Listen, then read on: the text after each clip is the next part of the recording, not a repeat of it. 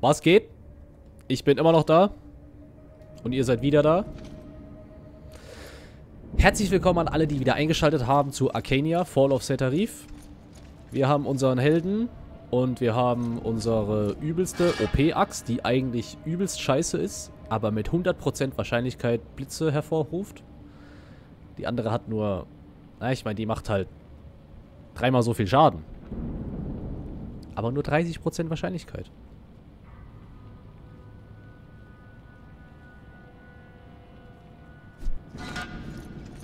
Die ist schon OP. Das ist schon krass. Das ist unerwartet. Unerwartet gut. Ich bin froh, dass ich sie aufgehoben habe. Dafür, dass unser Sonnenkranz nicht mehr funktioniert, gibt es dafür diese Axt, die krasser gemacht wurde. Weiß gar nicht wieso, weil also im normalen Spiel bewahrt man die, glaube ich, nie auf. Weiß nicht, das ist kein Sammlerspiel hier. 50 Leben, 40 Rüstung. Nahkampf und Fernkampf. Auch schon viel weniger Leben, aber... Ich bin komplett lost.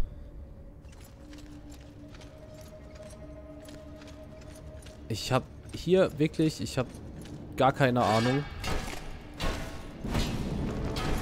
wie hier so die Wege waren. Also ich kenne so das grobe Spiel, kenne ich, ja. Aber wie, wo jetzt welcher Weg am besten ist, das weiß ich nicht mehr. Oder was hier am meisten Erfahrung gibt oder sonst wie irgendwas. Ich bin da... Da bin ich wirklich wieder blank.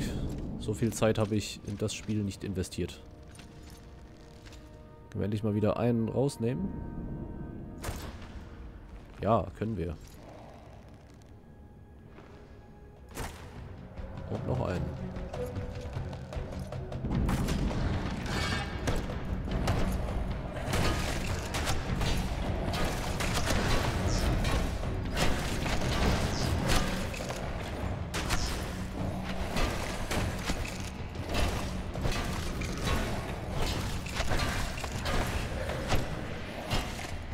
Er steht einfach da und schießt mit seinem scheiß Blasrohr.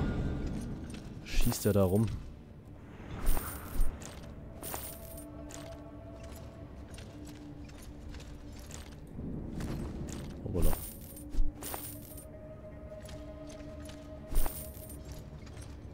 Ah, das bisschen Geld, was die immer dabei haben. Aber wir haben schon mal zwei ganz rausgenommen. Das ist gut. Nein, wieder reinzoomen bitte. Da ist eine Wurzel. Nicht, dass die Wurzel ihn schützt. Oh, ihn haben wir auch übel weggeknallt. Von da oben runter. Das tat bestimmt weh. Armschienen des Bestienjägers. Ich weiß nicht, warum die dann Mana bringen. Das ist so eine Scheiße. Oh, dieses erstaunlich mächtige Beil wurde nicht von den Goblins geschmiedet, doch es stinkt im wahrsten Sinne des Wortes nach ihrer Magie. Ein Schlag raubt dem Gegner seine Lebenskraft und heilt den Träger um 20% des zugefügten Schadens. Das wiederum ist not bad.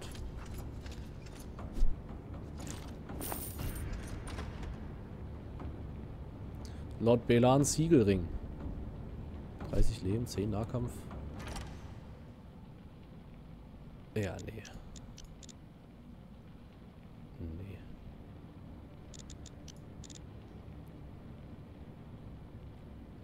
Jetzt ist das halt wiederum, ne? Und mit 45 Schaden. Das bringt halt Mana und so, ne? Das ist halt gar nicht so geil. Was für ein Schild ziehen wir dazu an? 25 Rüstung, 180. Bei 25 Leben.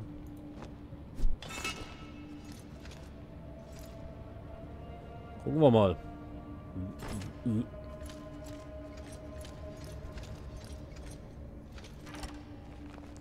Räumen wir das Feld mal von hinten auf. Besessener Goblin-Krieger. Er hat es echt nicht gecheckt. Ja, da hinten wird es auch nicht checken.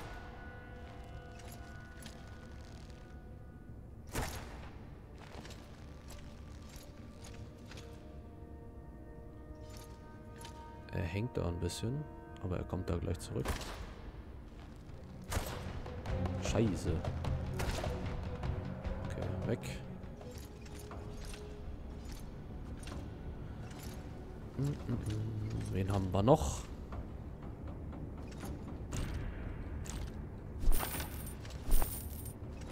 Wir warten doch immer welche um die Ecke.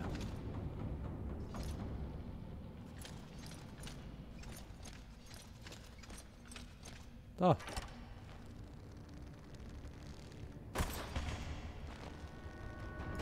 Als ob der uns schon gesehen hätte.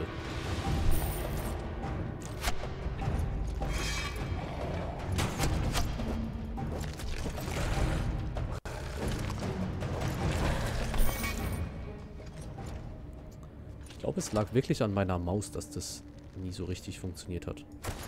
Der Unterschied zwischen schweren Angriffen und leichten Schlägen. Dann ist das ja umso besser. Oh shit.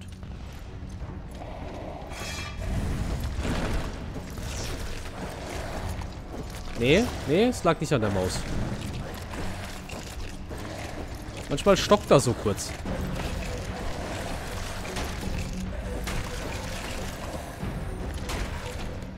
Also, und das ist nicht nur, wenn er angegriffen wird.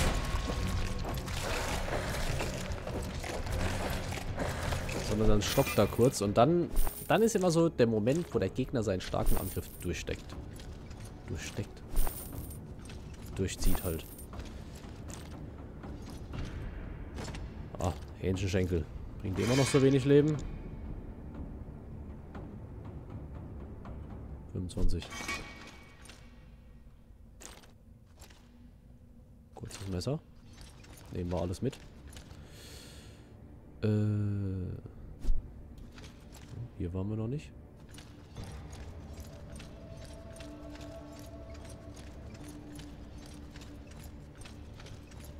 Hier gehen die Goblins wohl auch nicht rein. Der jemand schwebt. Ein totes Huhn. Eine Fackel. Nicht Schwefel, was man rausnehmen kann? Nö.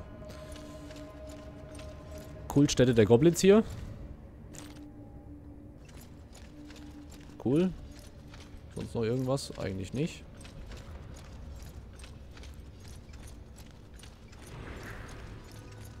Dann gucken wir einmal hier lang. Plötzlicher Tod. Bleiglasviole.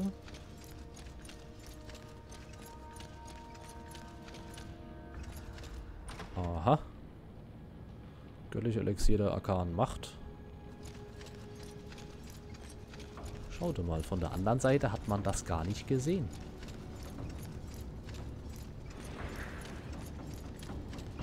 Mal genau nachgucken.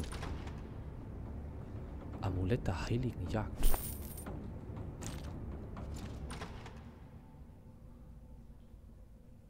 Kriegshaube des Kampfmagiers.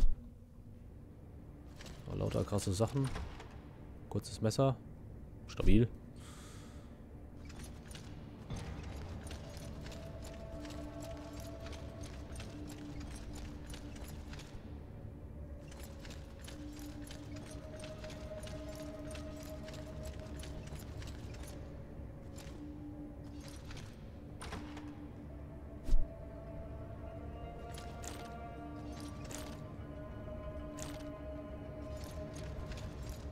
Ich glaube jetzt, jetzt dürften wir alles haben.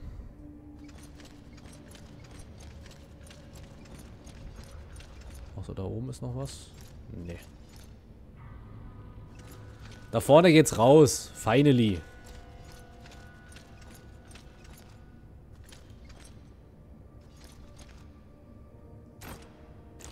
Diamant. Wie viel Diamanten man hier kriegt, ne? Da. Vergessen das Grab. Morsche Keule. Schwefel.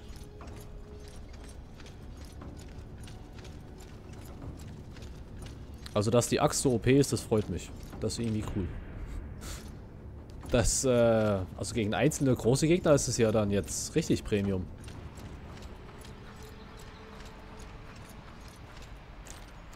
Durchwirktes Dschungelkraut.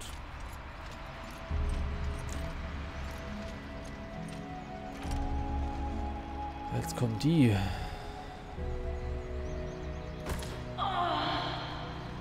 Okay, die hat ja richtig laut gestöhnt. Die finde ich ganz cool designt. Der beste kommt eh noch. Unser Router.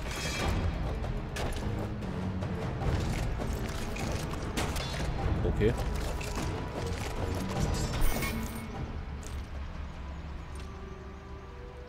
Haben wir die...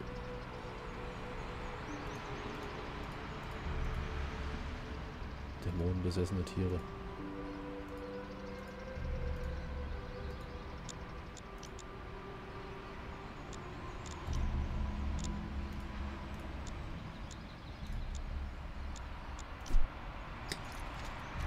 Nicht während eines Kampfes.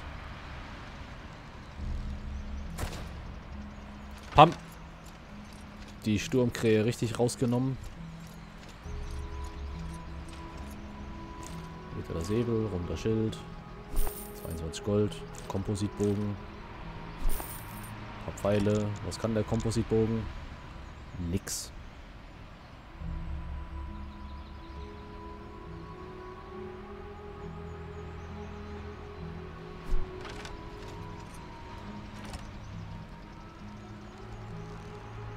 Dann bitte einmal sie weg. Weiter!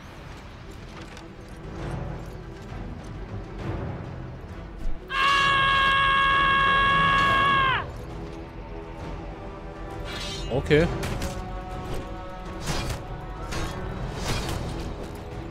Wir gehen wieder mit der Sense. Wir müssen ja hier... Wir stehen ja für etwas. Naja. Ich dachte, sie packt jetzt wieder den Bogen aus.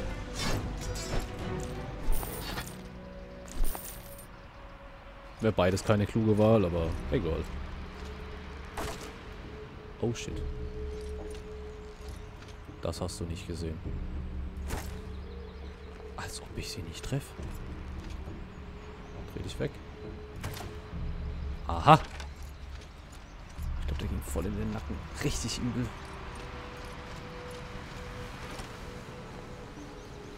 Sie befestigt die Dinger. Und nicht weglaufen.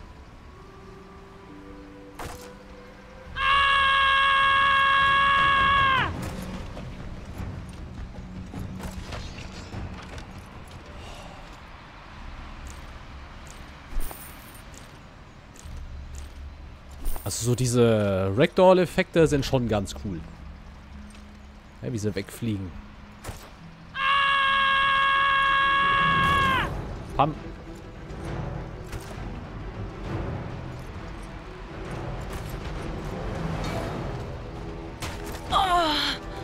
Oh.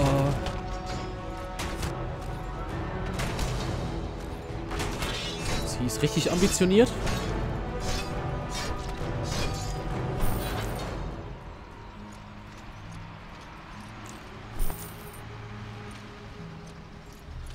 Okay, wir haben ordentlich die Leute durchlöchert.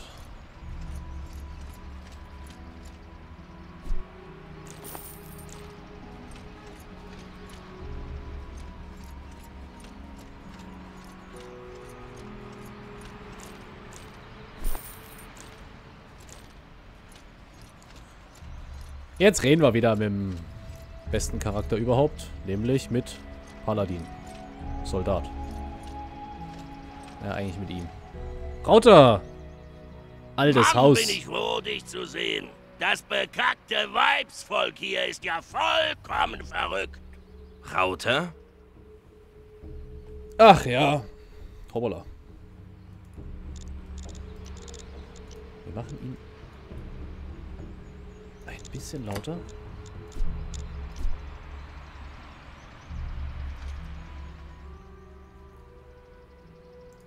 Was für Weibsvolk meinst du? Na, die Kriegerinnen, richtig? Plünderer von einer Nachbarinsel sind das, nennen sich Sturmkrähen, sind mit ihren Harpien hier aufgekreuzt und haben sich sofort alles unter den Nagel gerissen.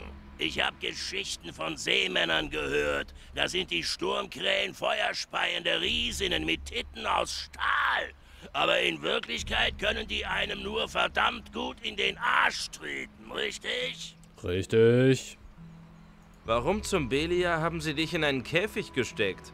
Was weiß ich? Vielleicht wollen sie Sklaven, aber man hört ja so Gerüchte über die Nachbarinseln. Da sollen nur Frauen leben. Ich glaube, die wollen mir an den Zipfel, richtig? Richtig. Die Anführerin hat was von Vernaschen gesagt. Wenn ich darüber nachdenke, es gibt Schlimmeres, als von einer heißen Frau vernascht zu werden. Alter Rauter hat's noch drauf. Richtig? Vielleicht sind sie auch Kannibalen. Scheiße. Mm. Musst du mir in den Humpen furzen? Der beste Witz im ganzen Spiel. Also auch vom normalen Arcania. Solltest du nicht in Setarif sein? Diego hat mich zurückgeschickt, richtig? Mit einer dringenden Botschaft für den König. Dabei bin ich den Weibern hier über den Weg gelaufen. Ne schöne Scheiße war das, sag ich dir. Ich hab die völlig unterschätzt, richtig? Wenn die keine Feinde wären, keine Verfluchten, würde ich die glatt für die neue Kämpfergilde anheuern. Was für eine Botschaft solltest du Roba überbringen? In Setarif ist die Kacke ganz schön am Dampfen, richtig?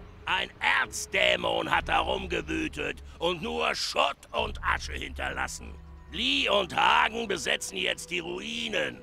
Sie liegen sich wieder in den Haaren. Jeder hat eine andere Vorstellung, wie man mit den überlebenden Setarifern umspringen sollte. Und sie stehen kurz davor, sich gegenseitig die Knie abzuhacken, richtig? Wenn der König kein Machtwort spricht, bringen sie sich alle gegenseitig um, ganz ohne Dämon. Tja. Ich hol dich erstmal da raus. Hast du gesehen, wo der Schlüssel aufbewahrt wird? Den hat die Anführerin der Sturmkrähen hier. Nennt sich Lana Blutkralle. Gut, die knöpfe ich mir mal vor. Pass bloß auf, Mann. Ich wette, das verfluchte Weib lauert schon hinter der nächsten Ecke. Richtig? Tja, Rauter, leider wird das nichts mit vernaschen, weil, ähm, na, wenn die Kinder bräuchten, sie heißt Lana. Wir alle wissen, was Lana rückwärts heißt. Da wird nichts mit Kindern.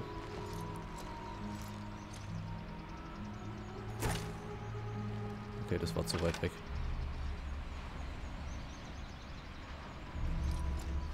So weit fliegt der Pfeil dann doch nicht. Weiter! Fast, fast alle einen Bogen. Oh. Jetzt einen in die Stahltitten und weg was die Zeug haben.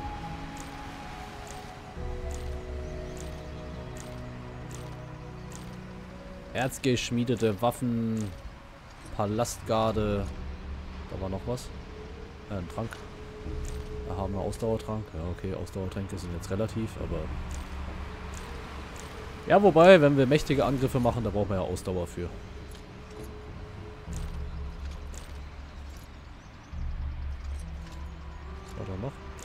Essenz der Ewigkeit.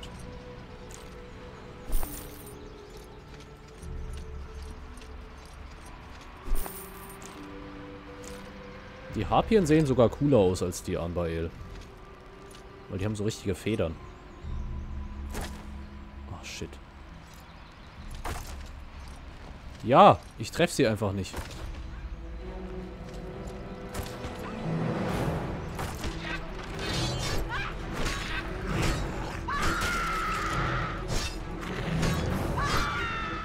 Den Angriff habe ich komplett vergessen. Dass die einem ins Gesicht schreien. Sehr geil.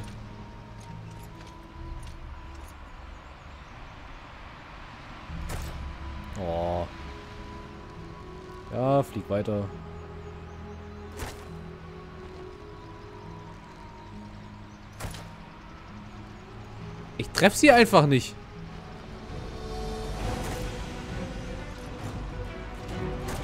Und es regnet natürlich.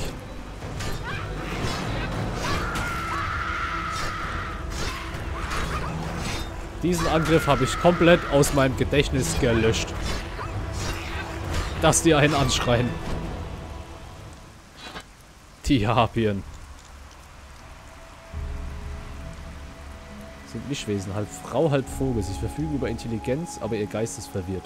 Für gewöhnlich schließen sie sich zu Gruppen zusammen und machen gemeinsam Jagd auf alles, was sich bewegt. Der Wahnsinn, der sie dabei vorantreibt, macht sie zu tückischen Gegnern. Ja, zu laut schreienden Gegnern macht sie das.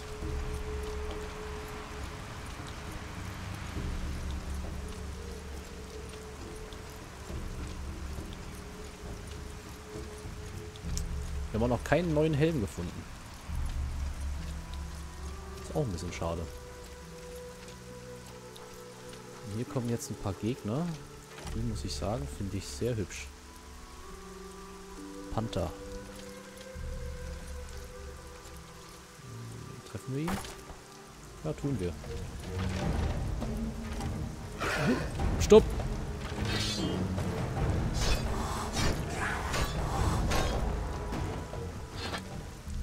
Pantherkralle.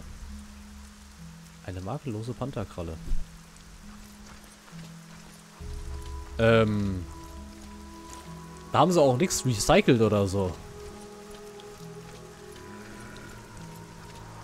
Also der wurde ja wirklich nur hierfür benutzt.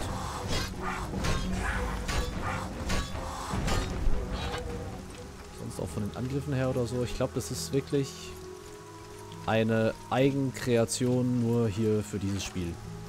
Was ich sehr lobenswert finde. Für ein Addon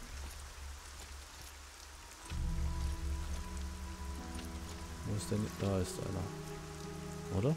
Das ist ein Stein. Das ist ein Blatt.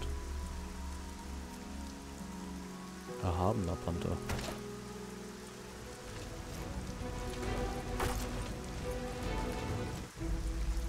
Okay, er ist einfach richtig schnell. Wie sieht das denn aus, wenn er angreift?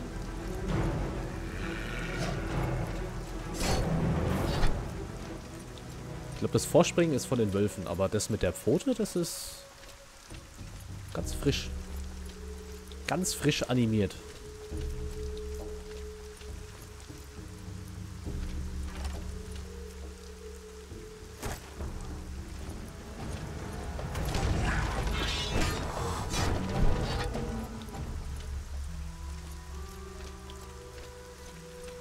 In jede Ecke gucken. Also, meine Harpie war es nicht. Ist es nicht Ivys Stimme gewesen?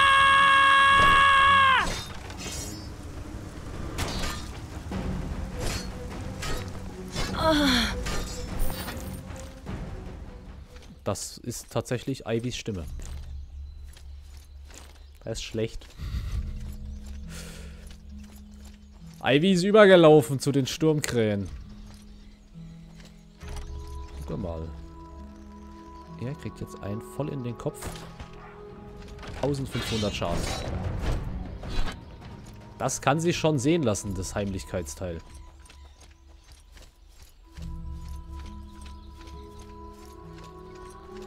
Also das ist schon, das ist schon ein cooler Skill. Weil es ist auch nicht OP, weil die Gegner, wenn sie einen ja sehen, dass es dann nicht mehr so ist. Deswegen finde ich das in Ordnung. Neun auf der Insel sind genauso schwach wie die Arganer. Weiter! Die Sturmkrähe. Oh. oh. Und weg ist sie.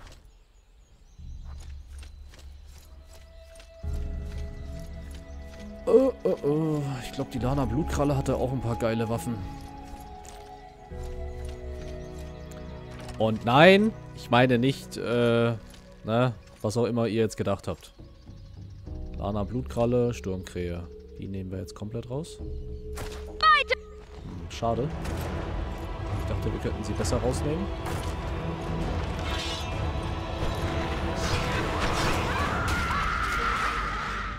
Stopp.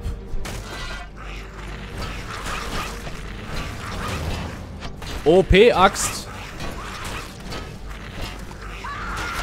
Okay, okay, okay. Moment, wir sind trotzdem noch eingesperrt.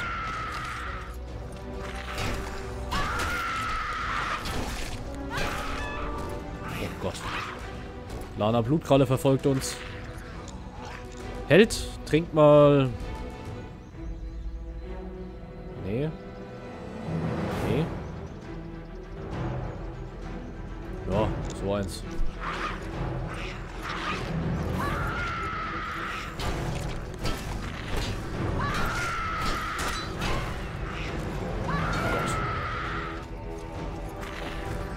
Lana macht Schaden.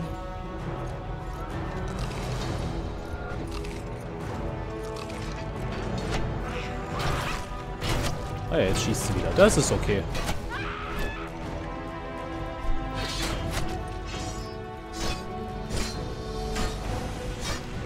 Und das Schwert leuchtet.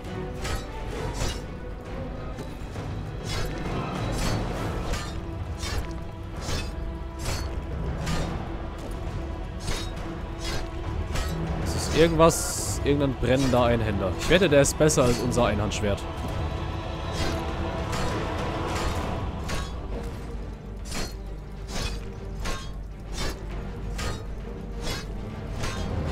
Jetzt haben wir sie. Jetzt hat sie verloren. Feuerkralle, Deepcrawler Armbrust und was hat sie? 4600 Gold. Stabil. Arganer sind schwach und weich. Sie haben es nicht anders verdient. Gut, dass wir von Flash kommen. Komm mal ein bisschen mit. Von den Harpien da unten weg.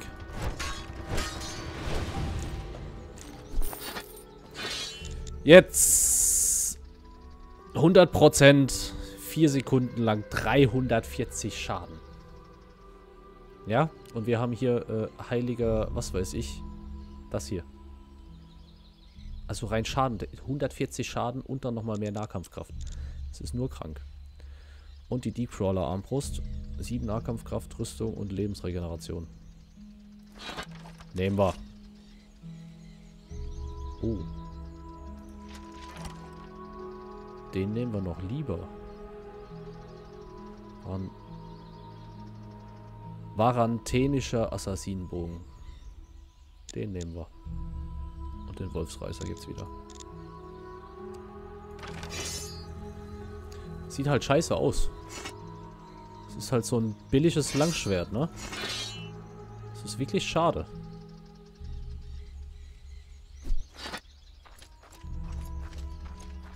Aber der Bogen sieht cool aus.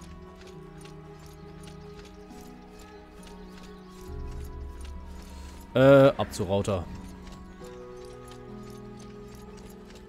Jetzt wollen wir ihm ja sagen, dass Lana ihn leider nicht mehr vernaschen kann. Das ist wirklich schade.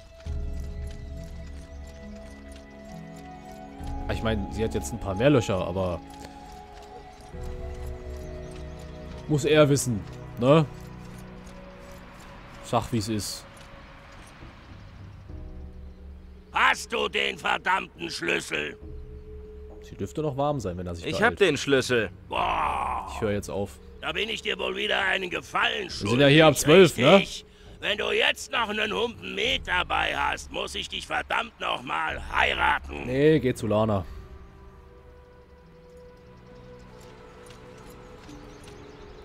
Und jetzt kommt auch was Cooles, was es im Normalen auch nie gab, ist...